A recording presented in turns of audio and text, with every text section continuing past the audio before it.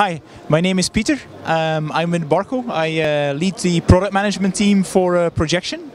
Um, and today here I'm going to talk about the new things that we uh, introduced uh, for projection at uh, ISE. So in at ISE here we focus on our uh, product lineup um, which we uh, use for museums, theme parks, large corporate lobbies. So what you see behind me is basically uh, is like an art uh, exposition simulation, right?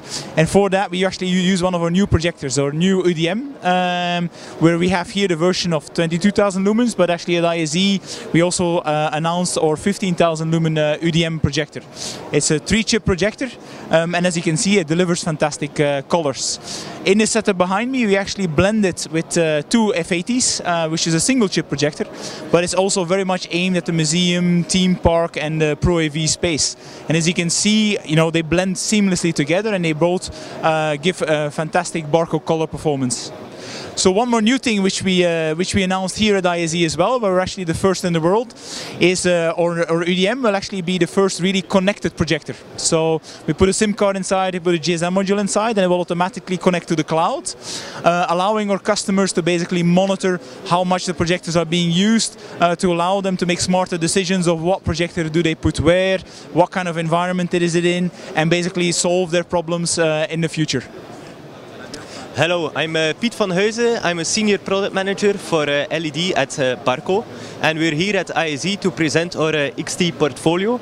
Uh, behind me you can see the XT series, the 1.5 pixel pitch, or uh, premium range of uh, LED walls. And at ISE we also introduce our XT-E and XT-HB series.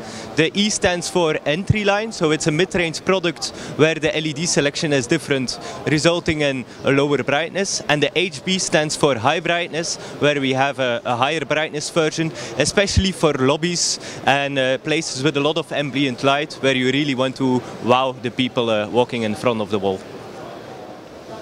Hello everyone, I'm Abbe Westerlund. I work at Barco as Senior Product Specialist for Image Processing. Uh, today in ISE we are showing a setup for Pro AV and entertainment uh, live uh, presentation switching solutions. Uh, beside me here uh, we have the new generation E2, uh, SG4K, Image Pro 4K, Image Pro 2 and PDS 3G S3G. All these products are contributing to uh, uh, good presentation switching, signal management, screen management, scaling and conversion for all your needs in lobbies, in auditoriums, in live events and other areas where you can have the need for really, really good image processing.